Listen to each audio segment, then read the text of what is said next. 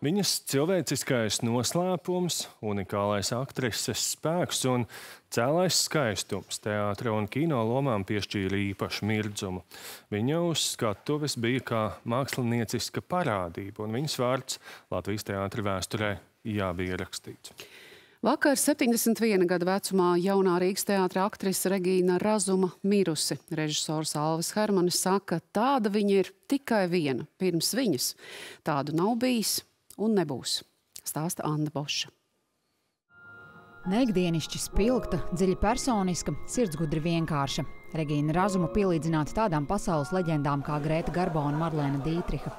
Pirmā epizodiskā loma Regīnai Razumai bija 20 gadu vecumā Oļģerta Dunkera filmā Tauriņdeja. Divus gadus vēlāk režisors Rolands Kalniņš viņu ieraudzīja kā austru zīli leģendārajā kinolentē Ceplis. Es vispār nezināju, vai, tur, vai es tur palikšu tajā filmā, jo man nebija nekādas atskaites punkti par to, ko es daru un kā es daru. Es uzticējos Rolandam, un tā bija man lielākā laime, ka es viņam uzticējos. Rolands Kalniņš Regīnai Razumai kļuva vairāk par vienkāršu režisoru. Viņa spēlējusi arī viņa filmās Pie jūras klimats, Akmeņainais ceļš un 2000. gadu vidus Rūgtajā vīnā. Īsts skaistulis. Pirms tiem 35 gadiem droši vien, ka es nebiju savas lomas režisors. Bet, eh, bet tagad, tagad, laikam, jā, viņš man ļāva pašai režisēt. Protams, Taču visvairāk Regīnas Razumas vārds mums saistās ar jauno Rīgas teātri. Viņa tajā strādā kopš pašām pirmajām dienām 1993. gadā. Par pēdējo nospēlēto lomu aktrisē kļuva pērn decembrī, pirmizrādi piedzīvojusī dzimšanas dienas kūka. Es to lūgu izlasīju, es šajā lūgā iemīlējos, bet man lomas nebija.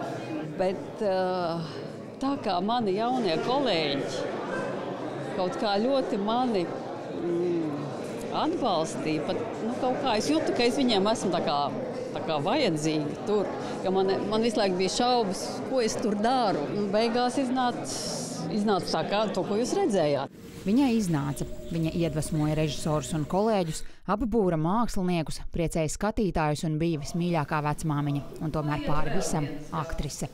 Aktrise vienmēr ir ļoti liela atkarība no no situācijas, no lomām, no vecuma, no, no tā, cik viņa ir ierau, ieraudzīta vai neieraudzīta. Regīnu Razumu nevarēja neieraudzīt. Uz teātras skatuves viņa bija pārlaicīga un klusi dzirkstoša parādība.